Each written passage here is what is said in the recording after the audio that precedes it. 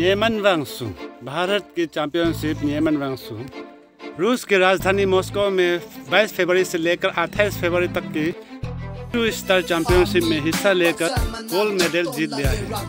नियमन वांगसु ने gold medal जीतकर अपने राज्य और अपने मुल्क के नाम रोशन किया है। नियमन वांगसु के साथ हमारे अरुणाचल प्रदेश के कई बच्चियाँ लोग हिस्सा लिए थे और अपनी जीत में कामयाब होकर उन्होंने भी गोल्ड मेडल की जीत हासिल हुई। अब मैं चाहता हूँ कि हमारा यहाँ जितने भी गलत कामों में लग रही जितना भी बच्चा हैं, सभी गलत काम छोड़ अपने अपने अच्छे अच्छे कामों में लग जाए और नियमन वांगसु की तरह गोल्ड मेडल जीते। इससे अपने माँ बाप का भी नाम रोशन होगी और अपने देश का भी नाम ऊँचा रहेगा। नियमन वांगसु अभी तक रसिया में ही है।